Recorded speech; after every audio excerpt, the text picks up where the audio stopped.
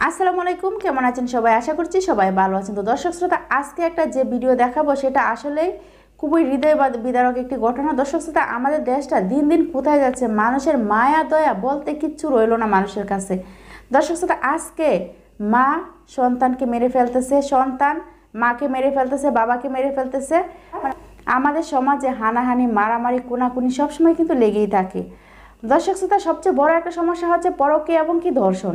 দুটার জন্য মানুষ আজকাল হাজার হাজার মানুষ প্রাণ দিচ্ছে। দর্শক শ্রোতা, অনেক সময় পরকীয়া করে প্রেম করে স্বামী সন্তানকে মেরে ফেলে পরকীয়া প্রেমিকের জন্য। দর্শক শ্রোতা, আজকে যে ভিডিওটা দেখাবো সেটা পরকীয়া নাকি আমি জানি না। তো দর্শক শ্রোতা, আজকে মা এবং মেয়েকে জীবিত মানে জীবিত অবস্থা তাদেরকে কবর দেওয়া হয়েছে। পরবর্তী সময়ে এলাকাবাসী, প্রশাসনের মানে চাপে তারপর তাদেরকে আবার সেই কবর থেকে তোলা হয়েছে তারা আদৌ কি জীবিত আছে সেটা আমার জানা নেই। তো দর্শক শ্রোতা, আমি একটা ভিডিও ক্লিপ পেয়েছি সেটা আপনাদেরকে দেখাবো। অবশ্যই আপনারা সম্পূর্ণ ভিডিওটা দেখবেন এবং কি বলবেন যে আমাদের দেশটা কোথায় যাচ্ছে?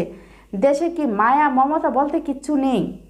আমাদের দেশে আসলে আইন প্রশাসন দুর্বল। যদি না হতো তাহলে এরকম অশৃঙ্খল আমরা সবসময় দেখতে পারতাম না। দর্শক শ্রোতা আজকাল বেশিরভাগই হানাহানি মারামারি আমাদের সমাজে লেগেই থাকে বা আমরা দেখতে পাই। কারণ কেন? এগুলোর কোনো বিচার হয় না, একজন আরেকজনকে মেরে ফেলতেছে, টাকার জন্য মেরে ফেলতেছে, পরকীয়া করে, পরকীয়া প্রেমিকের জন্য মেরে ফেলতেছে স্বামী সন্তানকে বা স্ত্রী স্বামীকে, এভাবে কিন্তু অনেক ঘটনা দেখা যাচ্ছে। তো যাই হোক দর্শক আমি আর ভিডিওটা লম্বা করব না, আপনাদের যা বলার অবশ্যই ভিডিওটা দেখে তারপর বলবেন যে আমাদের দেশটা কোথায় যাচ্ছে, আমরা কোন দেশে আছি। তো চলুন আমরা ভিডিওটা দেখে আসি।